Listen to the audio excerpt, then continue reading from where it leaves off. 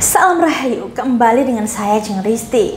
Semoga Anda selalu diberi kesehatan dan perlindungan, serta dilancarkan rizkinya. Ingatlah bahwa kesehatan adalah rizki dan modal terbesar kita sebagai manusia, serta perlindungan Tuhan adalah sebaik-baik pelindung. Sebagian besar orang yang ingin pasang susuk selalu bertanya kepada saya, jika pakai susuk dari Jeng Risti, apakah aman digunakan untuk sholat? Mendapatkan pertanyaan ini, saya menyadari bahwa paradigma tentang pasang susuk yang menyeramkan masih beredar di luar sana. Saya rasa masih akan terus seperti ini. Padahal seperti yang sudah saya jelaskan di video saya sebelumnya, bahwa ada dua jenis pasang susuk, yaitu susuk ilmu hitam dan susuk ilmu putih.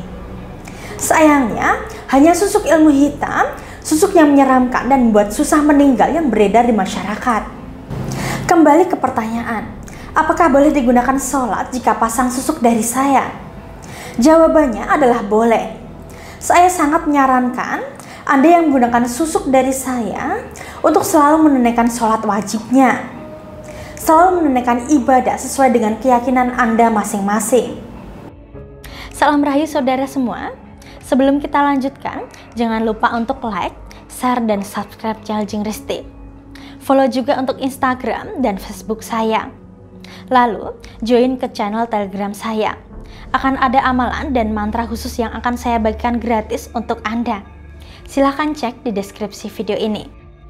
Karena dengan menunaikan ibadah, juga akan meningkatkan energi susuknya, meningkatkan spiritual diri Anda, sehingga Anda bisa merasakan manfaat susuknya secara maksimal. Susuk dari saya bisa dikatakan menggunakan aliran ilmu putih karena semua doanya hanyalah mengharap dan meminat kepada Tuhan Yang Maha Esa. Marang kersaning Gusti Pangeran.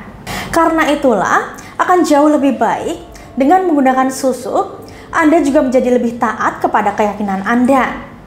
Melakukan hal yang positif dan penuh kebaikan. Insya Allah, semua bisa menjadi suatu keberkahan. Berbeda halnya apabila Anda menggunakan susuk ilmu hitam. Ketika Anda beribadah, anda akan gelisah, merasa panas, ingin marah, dan emosional.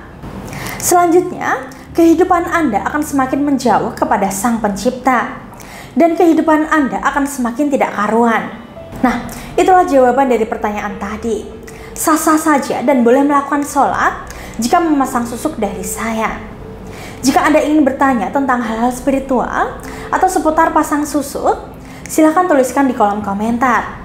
Dan bagi Anda yang ingin konsultasi dan ingin pasang susuk, silakan bisa hubungi saya di nomor yang ada di video ini.